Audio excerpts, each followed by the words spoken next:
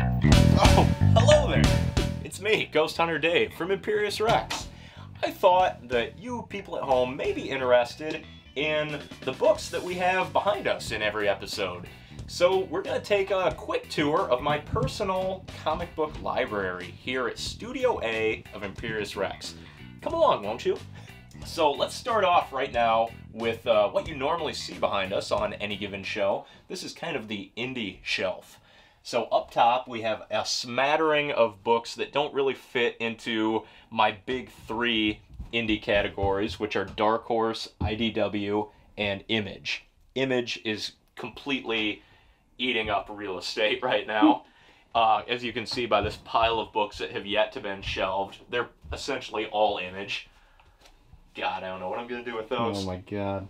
So up here we have a lot of really good stuff that span a bunch of different publishers like 20,000 AD, Top Shelf, Pantheon, Dynamite, Icon, all these. Some Millarworld up there. Some standouts. Of course, I've talked at length. I love uh, John Lees' Sink title, and then And Emily Was Gone. These are from Comix Tribe. There's a Dylan Dog. There's some Lemire, bunch of Miller stuff. Excuse me. Some Grant Morrison Zenith. These were from the 20,000 or the 2000 AD line. And just a bunch of stuff that I would love to put on the show sometime because they're not quite as well known as a lot of the stuff we cover. Black Hole is a given, of course. Essex County by Lemire. And this one I've been dying to read. My favorite thing is Monsters by Emil Ferris. Then we move on to some weirder stuff. My Clive Barker, Hellraiser, Nightbreed, all that stuff. I'm a big Clive Barker fan. Some Boom, some Lovecraft stuff. Some Archie, surprisingly good, especially the horror themed Archie. The Bunker, Sixth Gun by Cullen Bunn and the auteur, which is one of my favorite things that I've read recently, and I would love to talk about this on the show. Then we have an Alan Moore section. Lost Girls, which we would get flagged on YouTube immediately for. His League of Extraordinary Gentlemen, Providence from Hell, Tom Strong, Promethea. All those would make great episodes. I know, Troy, you would love Tom Strong. Oh, I can't you wait. Eat it up. then we have the Dark Horse Mignola section, which is, uh, I mean, it explains itself here. Amazing Screw on Head, always a favorite. Baltimore, Joe Golem the Hellboy libraries, along with his first and last appearance, and then uh, just the swath of Hellboy, BPRD, and the Mignolaverse right there. Pretty good, Dave. I didn't know you did that first and last appearance issue. Oh yeah, you didn't see it in every episode we've ever. I never put it together. yeah. Um, then some more Dark Horse stuff. Empowered, which is a fun uh, light-hearted book by Dark Horse. It'd be a good one to do sometime. It's a tad sexually explicit. It is. We do a nice theme episode out of that. and right alongside it, uh, Sin City and Harrow County, Black Hammer, Lady Killer. As you remember, we were gaga over that Oh, when we yeah. reviewed it.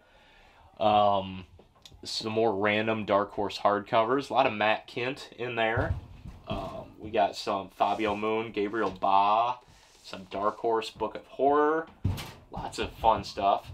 And then our library editions here Fear Agent Goon.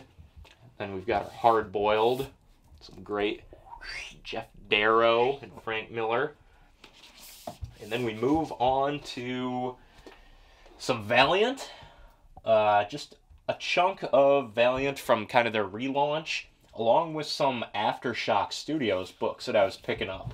Black Eyed Kids, Shipwreck, Altars, Insects, and then also some Black Mask publication, The Dregs, Kim and Kim, We Can Never Go Home, Four Kids Walk Into a Bar, or a Bank. Uh, I've heard these are all great. Haven't read many of them yet, but they're here. Some horror manga. On to IDW, we've got Locke and Key, my, one of my all-time favorites. A lot of Joe Hill stuff. I'll buy anything Joe Hill puts out.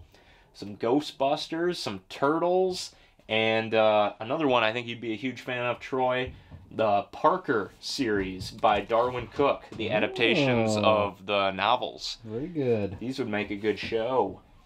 And then we're going to end this episode here with a look at the image chunk, which I'm not going to name all these, but as you can see, there's Let me a just pile. zoom in and get a smattering of all the titles. Yeah, whole lot of them. Oh, so many favorites, and so many that I haven't read yet, so they're always waiting. We've done Invincible, obviously. Wouldn't mind doing Kill or Be Killed sometime, as that's wrapped up. Maybe some Mad Men or Manhattan Projects.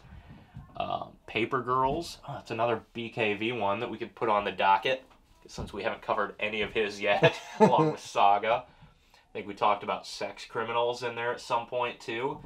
And uh, we did an episode a long time ago on Walking Dead, but it wasn't very good. So who knows? I don't even remember doing it to be honest. Well, it's out there somewhere. And as you can see here, a big collection of Spawn, just kind of a throwback to my youth. One of the things that probably got me into comics as a kid. I don't know how it holds up today, but it always holds a special place in my heart. So that went on longer than I thought it would. and my kids sound like they're going crazy up there. So we'll cut this one short and we'll just take a look at the first shelf here of the Ghost Hunter Dave Library, the Indie series. Join us next time for a look at DC and Marvel, which is over here somewhere. Brief snippets. Mmm. Thumbs up, Dave. Very good.